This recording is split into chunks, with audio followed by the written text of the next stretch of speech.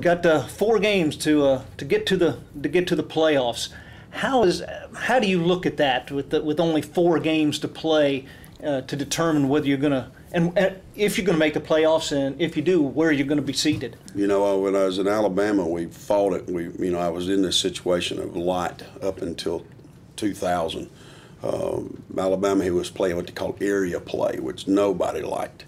Uh, they went to area play in 1984, and it stayed that way until night till, till, till through the 99 season, and then we went back into region play like Georgia.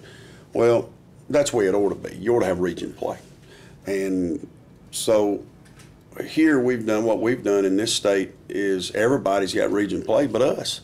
Uh, only you know five teams in our region, and you know it's really tough. I think. I think here we are. We've played seven ball games and hadn't played a game that has anything to do with state playoff standings or, or seeding or anything. And you know, so if you're asking me if I'm an advocate of it, no, I'm not. I, I just think that it could have been handled better and and should have been thought out with a with a with a better process and and. Uh, you know, we'll leave it at that. I think everybody sort of knows what happened uh, with the Warner Robins situation, but uh, we'll take it as it is. And and for us, we got to go win. I mean, you know, that's the end of the day. You, it's what it is. You now you got to go play, and all these games count for an awful lot because financially, it really, really helps your athletic program if you're in the playoffs. I mean, really, you got you got some extra revenue coming in that you wouldn't have coming in, and that's why football playoffs are so important because it's extra revenue winning is is the sort of the icing on the cake, but the meat of that cake is obviously the financial revenue that it gives to your football programs and every other program. So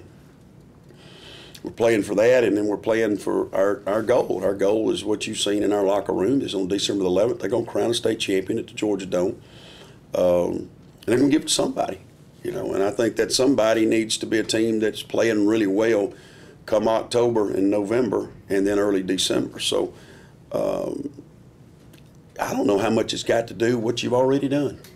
You know, there'll be some teams that come in at six and 0, 5 and 0, some teams at four and one, some teams like us at three and three. Really, everything starts next Friday at, at, at Tift, and um, but for us, we start two games on the road, and in this region, it's like the SEC of football. I mean, of high school football, it's tough. I don't care who you play in this region when you're on the road, I don't care. It's tough. And we got to go over to Tift and play, and it'll be a war. Uh, they actually opened this Friday with coffee at in Douglas, and and then us, and then obviously we got uh, coffee and and Valdosta at the end of the year, and then Lowndes right after that. So it's four tough ball games.